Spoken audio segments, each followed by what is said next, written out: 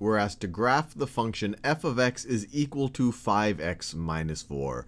And we'll do it by really just sampling some points from the domain and seeing what value our function takes. And then we'll just graph those points, and then we'll just connect the dots and see what forms. And there's other ways to do this, but this is kind of the most simple or the most basic way.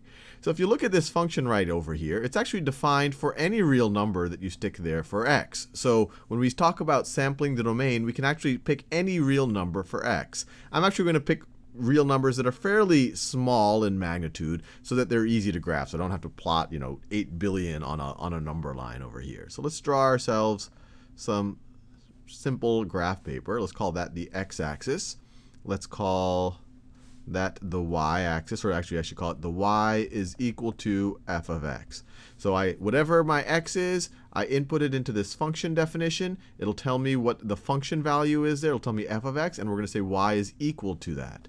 Now let's draw a little table here to try out some values. So let's say that this is x values, and then this is f of x. And I can even say this is my y values, which are going to be equal to, which are going to be equal to f of x. So let's start with, I'm going to try negative 2, negative 1, 0, 1, and 2. So let's try negative 2 first. If I, if x is equal to negative 2, what is f of x? Well, f of x is going to be 5 times negative 2 minus 4. So it's 5 times negative 2 minus 4, which is equal to negative 10 minus 4, which is negative which is negative 14. So let me plot that over here, and let me actually make a, I'm going to have a slightly more squunched up scale on the y-axis. And actually, let me give myself some space so that I can go further down. Let me clear this. Give myself a little bit of space, because I have a feeling that I'll be using a lot of negative values since I just got all the way down to negative 14. So let me go further down here, and then let me mark off some increments over here. So let's say that this is let's say that this is negative 5, this is negative 10, and this is negative 15, negative 15, and then this, if we, this would be positive 5, and then this would be positive 10. So we have when x is negative 2, when x is negative 2, f of x is equal to negative 14. f of x is equal to, f of x is equal to negative 14, which is right about there. So that is negative 14. So that right over there is the point negative 2, negative 14, which we got right from that. Now let's try another point. Let's try negative 1. When x is negative 1, f of x is 5 times negative 1 minus 4. 5 times negative 1 is negative 5, minus 4 is negative 9.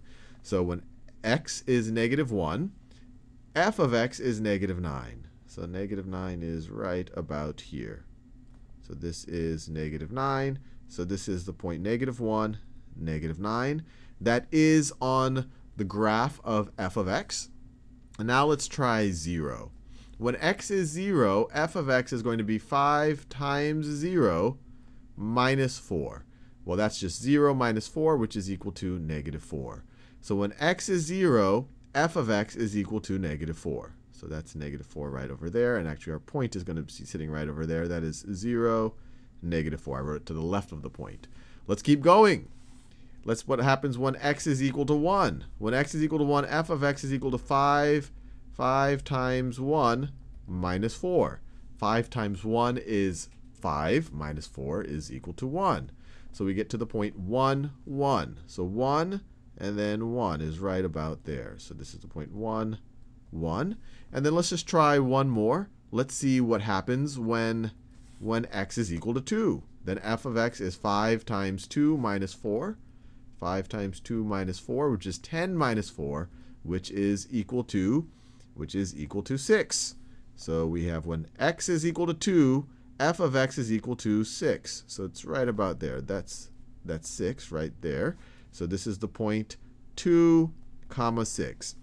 So once again, these are just sample points from the domain. This isn't the entire domain, but it gives us enough points to kind of see the general structure of the graph. If we connect the dots, we see a line forming. So if we connect the dots, let me draw. So if we connect the dots, it looks it looks something like this. And my shaky hand makes it look a little bit curvy, but it should be an absolute straight line. If I had this on really good graph paper and I have had a ruler, you would see that this is a straight line and it would keep going on and on and on. And I want to make it clear that we just sampled points from the domain, but we could take any point in the domain, which we already said is all real numbers. So if we took right over here, if we said 1.5, you could see, and if you graphed 1.5, f of 1.5, it should sit on that line right over there. If you graphed f of negative 0.5, so this is negative 0.5, if you graphed f of negative 0.5, it should sit on the line right over there. But we're done. We have graphed the function f of x is equal to 5x minus 4.